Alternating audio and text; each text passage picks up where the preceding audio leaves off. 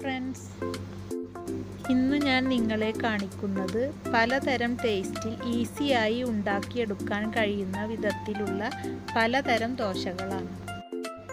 ഇനി ഇത് ഉണ്ടാക്കിയെടുക്കുന്നതൊന്ന് കണ്ടു നോക്കാം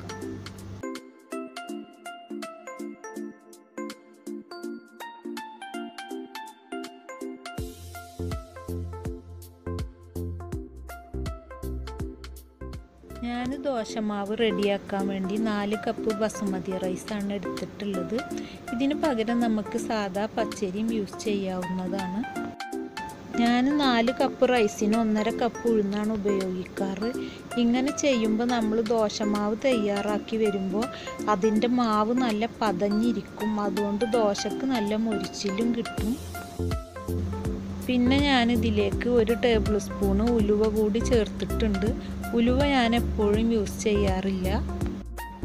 അരി നാല് മണിക്കൂർ കുതിർത്തെടുത്ത ശേഷം ഉപ്പും ആവശ്യത്തിനുള്ള വെള്ളവും ചേർത്താണ് ഞാനിത് അരച്ചെടുക്കുന്നത്.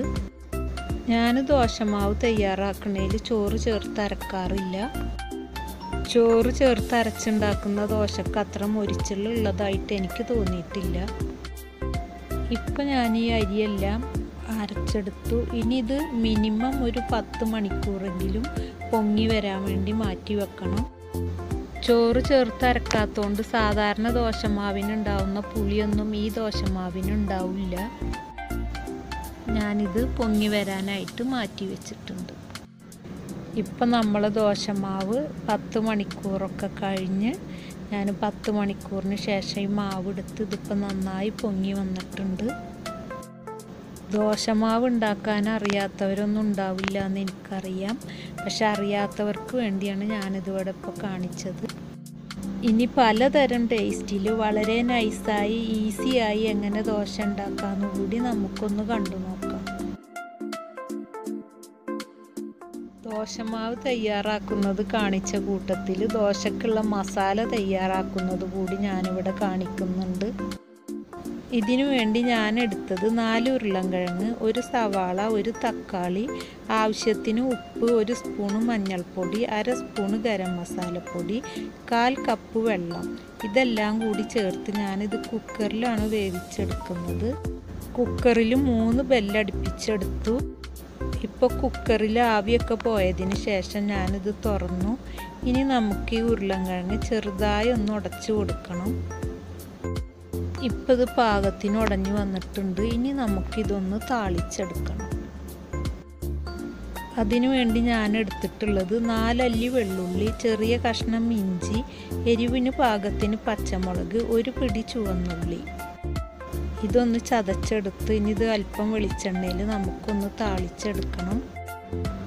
ഇപ്പം ഇത് മൂത്ത് തുടങ്ങി ഇപ്പം നല്ല സ്മെല്ലൊക്കെ വരാൻ തുടങ്ങി. ഇനി നമുക്കിതിലേക്ക് അല്പം മല്ലിയിലയും വേപ്പലയും അരിഞ്ഞതും കൂടെ ചേർത്ത് ഉരുളൻകിഴങ്ങിലേക്ക് ഇതൊന്ന് നന്നായി മിക്സ് ചെയ്ത് കൊടുക്കണം. ചുവന്നുള്ളി മൂപ്പിച്ചെടുത്തോണ്ട് ഈ മസാലക്ക് ഇപ്പം നല്ല മണവും ടേസ്റ്റൊക്കെ കിട്ടുന്നുണ്ട്. ഇപ്പം നമ്മുടെ മസാല റെഡി ആയിട്ടുണ്ട്. ഇനി നമുക്കിത് മാറ്റി വെക്കാം. ഞാൻ ദോശ ഉണ്ടാക്കാനായിട്ട് ഇത്തരം ഒരു ബ്രഷാണ് യൂസ് ചെയ്യുന്നത്. ഇത്തരം ഒരു ബ്രഷ് കൊണ്ട് നമ്മൾ ദോശ ഉണ്ടാക്കിയെടുക്കുമ്പോൾ നമുക്ക് വളരെ നൈസായി ദോശ ഉണ്ടാക്കിയെടുക്കാൻ പറ്റും. ആദ്യമായി ദോശ ഉണ്ടാക്കിയെടുക്കുന്നവർക്കും ഇത്തരം ഒരു ബ്രഷ് ഉപയോഗിച്ച് നൈസായി ദോശ ഉണ്ടാക്കിയെടുക്കാൻ പറ്റും. ഇതുപോലെ ബ്രഷ് മാവിൽ മുക്കിയൊന്ന് റൗണ്ട് ചെയ്തെടുത്താൽ മതി. ഇങ്ങനെ ഉണ്ടാക്കിയെടുക്കുമ്പോൾ വളരെ നൈസായി നമുക്കിത് തയ്യാറാക്കാം. ഇനി ഇതിനു വേണ്ടി ഇങ്ങനെ ഒരു ഗാർലിക് സോസ് നമുക്ക് ഇതിലേക്ക് തയ്യാറാക്കിയെടുക്കണം ഇതിനു വേണ്ടി ഒരുണ്ട വെള്ളുള്ളി രണ്ട് എഗ്ഗ് ആവശ്യത്തിനുള്ള ഉപ്പ് ഇത് ചേർത്താണ് ഞാനിത് അരച്ചെടുക്കുന്നത്. ഇത് അടിച്ചെടുക്കുമ്പോൾ നമുക്ക് ഇതിൽ വേണമെങ്കിൽ ഉപ്പിട്ട് പുഴുങ്ങിയെടുത്ത ഒരു ഉരുളൻകിഴങ്ങ് കൂടെ ഇതിൽ ആഡ് ചെയ്യാവുന്നതാണ്. അങ്ങനെ ചെയ്താൽ നമ്മൾ ഇതിൽ ചേർക്കുന്ന ഓയിലിന്റെ അളവ് കുറച്ച് കുറഞ്ഞ് കിട്ടും. പിന്നെ ഒരു സ്പൂണ് വിനീഗറും ചേർത്തിട്ടുണ്ട്.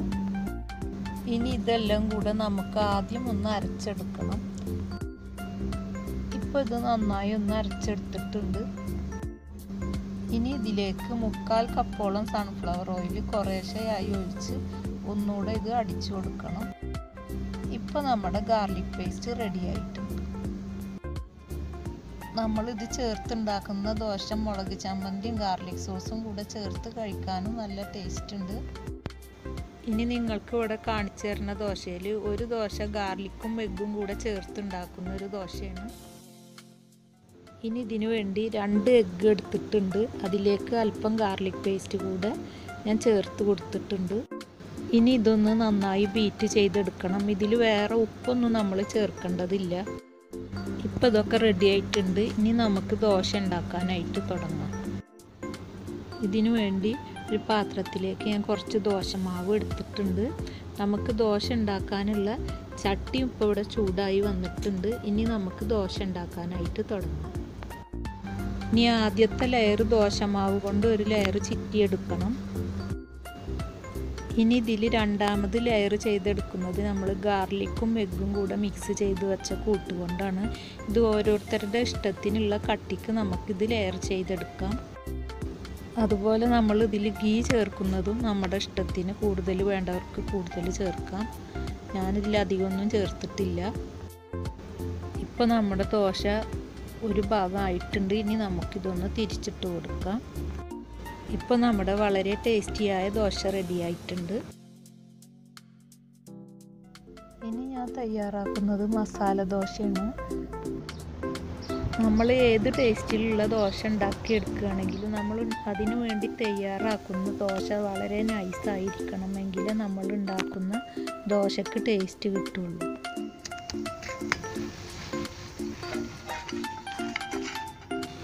ഇപ്പോൾ നമ്മുടെ മസാല ദോശ റെഡി ആയിട്ടുണ്ട്.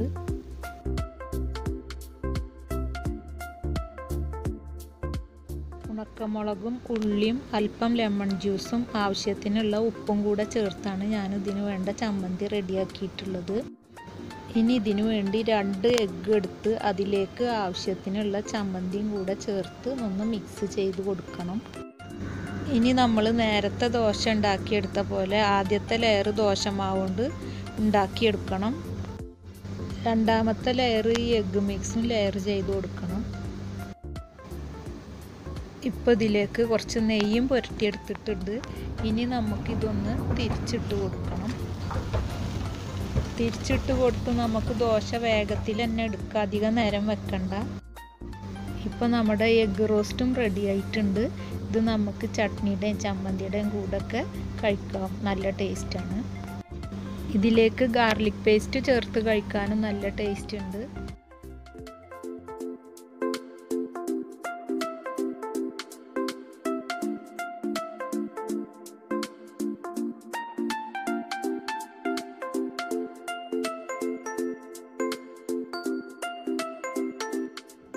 ഇനി ഞാൻ തയ്യാറാക്കി കാണിക്കുന്നത് എഗ്ഗ് പോച്ച് ദോശയാണ്.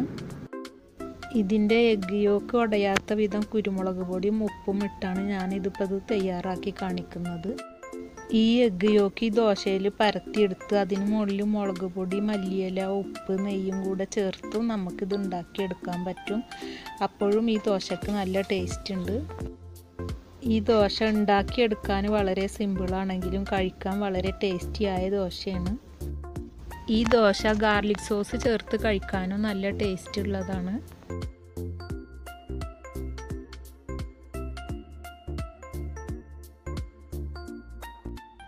ഇപ്പോൾ നമ്മുടെ എല്ലാ ദോശകളും റെഡി ആയിട്ടുണ്ട്.